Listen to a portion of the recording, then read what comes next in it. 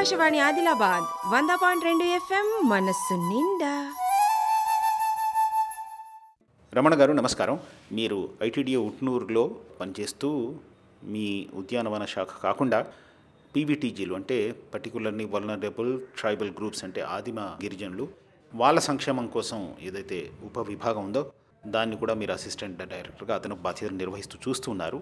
ఈ మధ్యకాలంలో ఈ పీవీటీజీస్ లేక ఈ ఆదిమ గిరిజనులకు వాళ్ళ స్థితిని అభివృద్ధి చేయడానికి వాళ్ళలోని వెనుకబాటుతనాన్ని పోగొట్టి వాళ్ళను కూడా మిగతా గిరిజనులకు సమానంగా తీసుకురావడానికి కేంద్ర ప్రభుత్వం నుంచి ప్రత్యేకమైన పథకాలు రూపొందించి రాష్ట్ర ప్రభుత్వాల ద్వారా తర్వాత ఐటీడీఎల్ ద్వారా వాటిని అమలు చేస్తున్నారు కదా. ఉట్నూరు ఐటీడీఏ కింద ఉమ్మడి ఆదిలాబాద్ జిల్లాలో అసలు ఎటువంటి ఎటువంటి పథకాలు వీళ్ళ కోసం అమలు చేస్తున్నారు? అసలు ఎంతమంది ఉన్నారు మన దగ్గర ఈ ఆదిమ గిరిజనులు అనేవాళ్ళు ఈ ఉమ్మడి ఆదిలాబాద్ జిల్లా నమస్కారం సార్. నేను యాక్చువల్గా ప్రాజెక్ట్ హార్టికల్చర్ ఆఫీసర్గా పనిచేస్తాను. అది కాకుండా ఏంటంటే ఏపీఓ పీటీజీగా కూడా. అంటే ప్రత్యేకంగా ఒక పర్టికులర్లీ వలనరబుల్ ట్రైబల్ గ్రూప్ అనే విభాగం ఉంది. దానికి ఏపీఓగా నేను పనిచేస్తాను.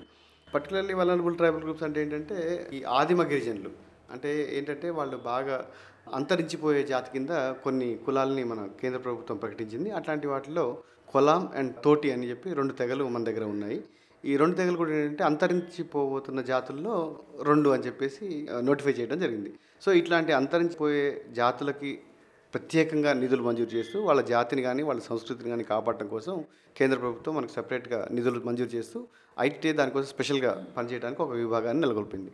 సో దీని ద్వారా ఏంటంటే వాళ్ళ సంస్కృతిని వాళ్ళ సంతతిని కాపాడటం కోసం మనం ప్రత్యేకంగా పనిచేయాల్సి ఉంటుంది. వీళ్ళకంటే మిగతా గిరిజనులకు ఇచ్చే రాయితీలు కానీ వీటన్నిటికంటే కూడా వీళ్ళకి కొంత స్పెషల్గా వీళ్ళని ట్రీట్ చేయాల్సి ఉంటుంది.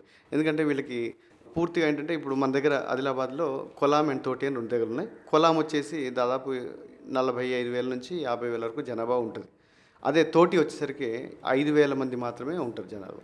సో ముఖ్యంగా ఈ కొలాం అనే వాళ్ళు ఏంటంటే వ్యవసాయ ఆధారిత కుటుంబాలు వాళ్ళే. వాళ్ళు పూర్తిగా వ్యవసాయం మీదే ఆధారపడి ఉంటారు. ఈ తోటి అనేవాళ్ళు ఏంటంటే తోటికి వ్యవసాయం కానీ ఎటువంటి ఇది ఉండదు.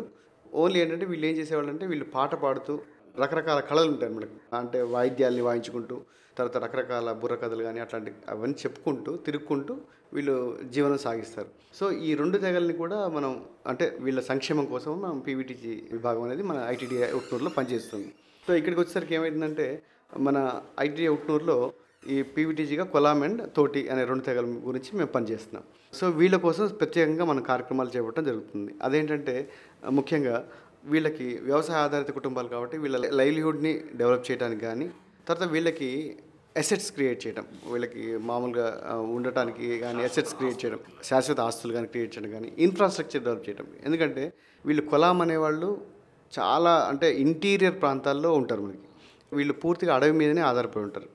అడవి ఉత్పత్తుల్ని సేకరించడం కానీ అడవిలో పోడు కొట్టుకొని అక్కడ వ్యవసాయం చేసుకుంటూ ఉండటం కానీ పూర్తిగా ఇంటీరియర్ ఫారెస్ట్లో వీళ్ళు నివసించడం జరుగుతుంది. వాళ్ళకి ఏంటంటే ఎటువంటి మినిమం అమ్యూనిటీస్ కూడా ఉండవు అనమాట సో అట్లాంటి ఏరియాలో ఉంటారు కాబట్టి వీళ్ళకి ఏంటంటే మన ఇన్ఫ్రాస్ట్రక్చర్ డెవలప్మెంట్ కింద మనకి రోడ్స్ కానీ తర్వాత డ్రింకింగ్ వాటర్ సప్లై కానీ తర్వాత అంగన్వాడీ సెంటర్స్ కానీ ఇట్లాంటి స్కూల్స్ కానీ ఇట్లాంటి hospitals primary health centre sub centres కానీ ఇట్లాంటివన్నీ కూడా ఎస్టాబ్లిష్ చేయడం కోసం ఇన్ఫ్రాస్ట్రక్చర్ మనం డెవలప్ చేస్తాం.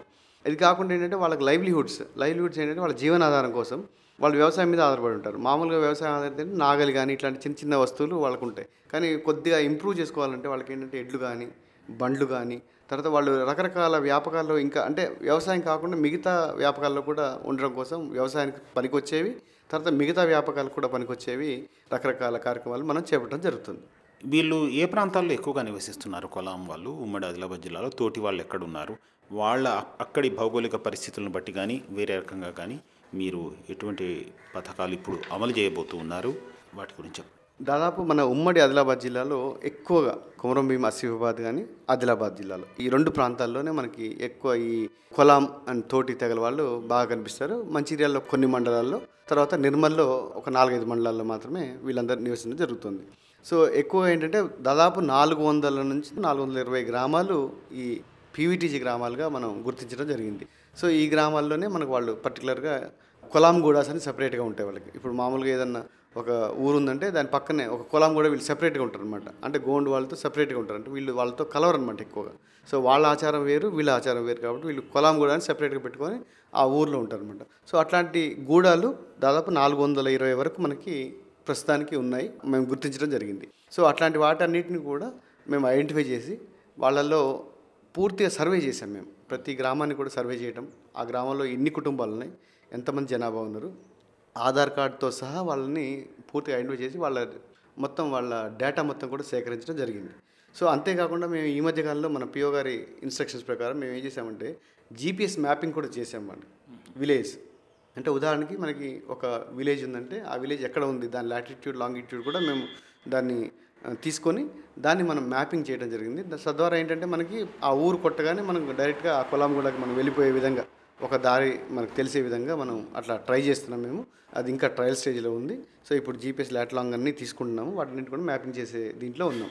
సో దీంట్లో ఏంటంటే ఈ వివిధ రకాల కార్యక్రమాలు ఏవైతే ఉన్నాయో ఏంటంటే ఉదాహరణకి చాలామందికి ఏంటంటే ఎడ్లుండవు. అట్లాంటి వాళ్ళకి ఎడ్లు. ప్లస్ ఈ గ్రామాల్లో అంటే వీళ్ళు వ్యవసాయం చేసిన తర్వాత ఉత్పత్తులన్నీ కూడా మార్కెట్ తీసుకెళ్ళడానికి కానీ లేకపోతే ఆ పొలాల్లోంచి ఇంటికి తీసుకురావడానికి కానీ ఇంటి నుంచి మళ్ళీ దగ్గర మార్కెట్ తీసుకెళ్ళడం కానీ ఇట్లాంటి వాటన్నిటికి కూడా బండ్లు కావాలి. వాళ్ళకి ట్రాన్స్పోర్టేషన్ ఉండదు. కాబట్టి అట్లాంటి బండ్లు కూడా మనం ఇవ్వడం జరుగుతుంది. అది కాకుండా ఏంటంటే వ్యవసాయానికి చాలామందికి ఏంటంటే వీళ్ళ వ్యవసాయం ఎక్కువగా ఓపెన్ వెల్స్ కానీ లైవ్ స్ట్రీమ్స్ దగ్గరలో ఉంటాయి. అంటే చిన్న చిన్న కాలువలు కానీ సెలైర్ల దగ్గర ఎక్కువగా ఉంటుంది. యాక్చువల్గా వాళ్ళ బోర్వెల్స్ కానీ అట్లాంటివి ఉండవు. సో అట్లాంటి వాళ్ళకి ఏంటంటే ఆయిల్ ఇంజన్స్ ఇచ్చి ఆయిల్ ఇంజన్స్కి ఉన్న ఒక పైప్స్ ఇచ్చినట్టయితే వాళ్ళు స్ట్రీమ్స్కి పెట్టుకొని ఆయిల్ ఇంజన్ ద్వారా నీళ్ళు పంప్ చేసుకొని ఎక్కువగా వీళ్ళు పంట పండించుకుంటారు. వాస్తవానికి ఏంటంటే వీళ్ళు పండించేదంతా కూడా single season crop. Only rain fed అగ్రికల్చరే ఉంటుంది వీళ్ళకి. సెకండ్ సీజన్ క్రాప్కి వచ్చేసరికి ఏంటంటే ఫాలో అయిపోద్ది. మొత్తం దాదాపు ఏమీ పండించినటువంటి పరిస్థితి. సో అట్లాంటి పరిస్థితి నుంచి బయటకు రావాలని చెప్పేసి ఆయిల్ ఇంజన్స్ పైపులు ఇచ్చినట్టయితే మనకి డిసెంబర్ జనవరి ఫిబ్రవరి వరకు కూడా చాలా స్ట్రీమ్స్లో వాటర్ ఉంటుంది. సో ఆ వాటర్ కొద్దిగా లిఫ్ట్ చేసి పంప్ చేసుకున్నట్టయితే సెకండ్ క్రాప్ కూడా వీళ్ళు తీసుకోవచ్చు అనే ఉద్దేశంతో వాళ్ళు కొంతమందికి ఆయిల్ ఇంజిన్స్ పైప్స్. ఇది కాకుండా ఏంటంటే కొంతమంది పూర్తిగా అసలు భూమి లేకుండా వ్యవసాయం చేయలేని పరిస్థితిలో ఉంటారు కొంతమంది విడోస్ కానీ హ్యాండిక్యాప్డ్ కానీ డెస్పరేట్ ఉమెన్ కానీ ఇట్లాంటి వాళ్ళందరికీ ఏంటంటే వాళ్ళకి కిరాణా షాప్స్ లాంటివి పెట్టి బిజినెసెస్ చిన్న చిన్న బిజినెస్ ఒక అరవై డెబ్బై వేల రూపాయల విలువైన ఒక చిన్న షాప్ పెట్టించినట్టయితే వాళ్ళ ఊర్లో సంబంధించిన నెసిటీస్ అన్నీ కూడా మినిమం నీడ్స్ ఏవైతే ఉంటాయో అవన్నీ కూడా అక్కడ దొరికేటట్టుగా ప్లాన్ చేసి అట్లా కిరాణా షాపులు కూడా మనం పెట్టించడం దాదాపు ఒక ఇరవై ఐదు గ్రామాల్లో ఇరవై ఐదు కిరాణా షాపులు పెట్టించడం జరిగింది. వాళ్ళ జీవనాధారం ఎట్లా మెరుగుపడుతుంది అని అంటే ఇంతకుముందు వాళ్ళు అసలు ఊరికే వ్యవసాయ కూలీగా పోయినప్పుడు కూలీ దొరికినప్పుడు వంద రూపాయలు రెండు వందల రూపాయలు ఇంత కూలీ దొరికేది లేకపోతే లేదు. కానీ ఇవాళ వాళ్ళు ఆ షాపులు పెట్టుకున్న తర్వాత దాదాపు రోజుకి ఐదు వందల నుంచి వెయ్యి రూపాయల బిజినెస్ నడుస్తుంది వాళ్ళకి ఆ ఊర్లో. సో తద్వారా ఏంటంటే థర్టీ పర్సెంట్ మార్జిన్ వేసుకున్నా కానీ దాదాపు త్రీ హండ్రెడ్ రూపీస్ వరకు వన్ ఫిఫ్టీ నుంచి త్రీ హండ్రెడ్ రూపీస్ వరకు వాళ్ళకి మార్జిన్ అనేది మిగులుతుంది. సో వాళ్ళు ఏం చేయకుండా ఇంట్లో ఉండి అన్ని కార్యక్రమాలు చేసుకుంటూ పిల్లల్ని చూసుకుంటూనే దాదాపు ఒక ఐదు వేల నుంచి పదివేల వరకు వాళ్ళు ఆదాయం సంపాదించే అవకాశం కలుగుతుంది. సో ఇట్లాంటి కార్యక్రమాలు చేస్తున్నాం. ఇది కాకుండా కొంతమంది చదువుకున్న పిల్లలు ఉంటారు వాళ్ళకి ఏంటంటే ఈ ఫ్యాషన్ మీద ఆసక్తి ఉంటుంది. దాంట్లో ఏంటంటే వాళ్ళ కంగన్ హాల్స్ పెట్టిస్తే ఆ దగ్గరలో ఉన్న చుట్టుపక్కల ఒక ఐదారు గ్రామాలు కలిపి ఒక చిన్న కంగన్ హాల్ పెట్టి కంగన్ హాల్ అంటే మినిమం నెసిటీ గాజులు కానీ బొట్టు బిళ్ళలు కానీ ఈ నెయిల్ పాలిష్ కానీ ఇట్లాంటివన్నీ దొరికే ప్లేస్ అనమాట సో అది పెట్టించినప్పుడు ఏంటంటే వాళ్ళ చుట్టుపక్కల ఉన్న ఆడవాళ్ళ పలానా దగ్గర మనకి రిబ్బన్లు దొరుకుతాయి పలానా దగ్గర మనకి గాజులు దొరుకుతాయి అని చెప్పేసి వాళ్ళు అక్కడికి వచ్చి కొనుక్కునే అవకాశం ఉంది. సో ఇట్లాంటివన్నీ కార్యక్రమాలు మనం చేస్తున్నాం. ఇది కాకుండా ఎనిమిదవ తరగతి పాస్ అయ్యి ఎవరైతే ఆడపిల్లలు ఉన్నారో వాళ్ళందరూ కూడా మనం కుట్టు శిక్షణలో మనకి వైటీసీ అని ఉంది యూత్ ట్రైనింగ్ సెంటర్. అట్లాంటి యూత్ ట్రైనింగ్ సెంటర్లో మనకు కుట్టు పని శిక్షణ ఇస్తున్నాం. నలభై ఐదు రోజుల వరకు వాళ్ళకి శిక్షణ ఇచ్చేసి తద్వారా ఏంటంటే వాళ్ళ ఊరికి సంబంధించిన వస్త్రాలన్నీ కూడా వాళ్ళే కుట్టుకునేట్టుగా మనం ప్లాన్ చేస్తున్నాం. ఇది కాకుండా మనకి ఇంటర్మీడియట్ కానీ డిగ్రీ కానీ చదివిన పిల్లలు ఉండి టెన్త్ పాస్ అయిన పిల్లలు కానీ టెన్త్ ఫెయిల్ అయిన వాళ్ళు కానీ intermediate pass fail degree pass fail అట్లాంటి వాళ్ళు ఉండి చదువుకొని ఇంట్లో ఉండి ఏం పని చేయకుండా ఉండే వాళ్ళని వాళ్ళందరిని ఐడెంటిఫై చేసి వాళ్ళందరినీ కూడా యూత్ ట్రైనింగ్ సెంటర్కి మొబిలైజ్ చేసి వాళ్ళకి ట్రైనింగ్ ఇస్తున్నాం. ట్రైనింగ్ ఇచ్చేసి కంప్యూటరైజేషన్లో కానీ తర్వాత రీటైల్ మార్కెటింగ్లో కానీ తర్వాత సాఫ్ట్ స్కిల్స్ డెవలప్ చేయడంలో కానీ తర్వాత వాళ్ళకి ఇంగ్లీష్ ఫ్లూయెన్స్లో కానీ ఇట్లాంటి వాటన్నిటిలో వాళ్ళకి శిక్షణ ఇచ్చేసి వాళ్ళని డిఫరెంట్ ఎలక్ట్రీషియన్ ప్లంబింగ్ అట్లాంటి ట్రైనింగ్ కూడా ఇచ్చేసి వాళ్ళని డిఫరెంట్ డిఫరెంట్ కంపెనీస్కి మేమే ప్లేస్మెంట్స్ కూడా మేమే చూపిస్తున్నాం. సో అట్లాంటి వాళ్ళందరినీ కూడా మనం హైదరాబాద్ కానీ వరంగల్ కానీ తర్వాత కరీంనగర్ కానీ ఆదిలాబాద్ కానీ ఇట్లాంటి డిఫరెంట్ డిఫరెంట్ ప్లేస్లో వాళ్ళకి ప్లేస్మెంట్స్ ఇచ్చేసి మినిమం వచ్చేసి పదివేల రూపాయలు శాలరీ వచ్చే విధంగా మేము ప్లాన్ చేసినాం అదే ఎక్స్క్లూడింగ్ పిఎఫ్ పిఎఫ్ కూడా కలుపుకున్నట్టయితే దాదాపు పదకొండు వేల ఐదు వందల నుంచి పన్నెండు వేల రూపాయల దాకా వాళ్ళకి వస్తుంది కటింగ్స్ అన్ని. సో కటింగ్స్ ఒక రెండు వేలు పోతే పదివేల రూపాయలు చేతికి వచ్చేటట్టున్నాయి సో ఇట్లాంటి కార్యక్రమాలను చేస్తున్నాం. ఈ విధంగానే మనం ఏం చేస్తున్నామంటే ఎవరైతే పీవీటీజీ కొల్లాం కానీ తోటి వాళ్ళు ఎవరైతే ఉన్నారో కమ్యూనిటీస్ ఉన్నాయో ఈ కమ్యూనిటీస్ని ఆదుకోవడం కోసం ఐటీడీఏ ఉట్నూరు అన్ని విధాలుగా మేము సహకరిస్తున్నాం వాళ్ళకి. ఆదివాసీలకు కులం వాళ్ళకు తర్వాత ఈ తోటీలకు కూడా ఆదిమ గిరిజనులుగా వీళ్ళు ఎవరినైతే వర్గీకరించారో వీళ్ళకు కూడా వీళ్ళ విశిష్టమైన సంస్కృతి సంప్రదాయాలు పండుగలు ఇవన్నీ ఉంటాయి కదా. వాటి నిర్వహణలో కానీ వాళ్ళ సంస్కృతిని పరిరక్షించుకోవడానికి కానీ వాళ్ళకి ఎటువంటి సహకారం ఐటీడీ అందించగలుగుతుంది? ఈ పీవీటీస్కి బడ్జెట్ వచ్చేదే సీసీడీపీ నిధులు అంటాం మనం.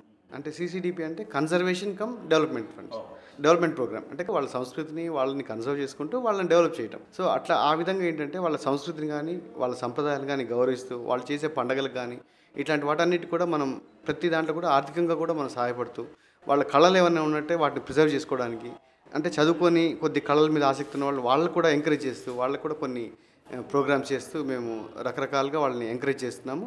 సో వాళ్ళ సంస్కృతిని సంప్రదాయాన్ని కూడా మనం కన్సర్వ్ చేస్తున్నాం. బాగుంది.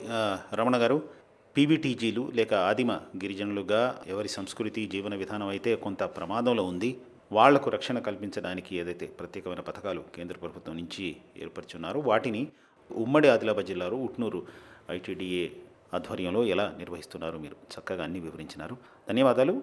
ఆదిమ గిరిజనుల పరిస్థితి ఈ పథకాల మంచి అమలు కారణంగా బాగుపడుతుందని వాళ్ళు కూడా ముఖ్యధారలోకి త్వరలో ఏమీ ఇబ్బంది లేకుండా ప్రవేశించగలుగుతారని ఆశిద్దాం. నమస్కారం. Thank you sir thank you Akashvani Adilabad వంద పాయింట్ రెండు ఎఫ్ఎం మనసు నిండా